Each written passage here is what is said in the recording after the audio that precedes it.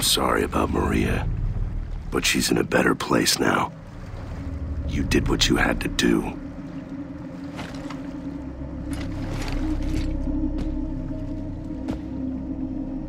I found a way to sneak into Nexus. But if you want to go in guns blazing, I don't blame you.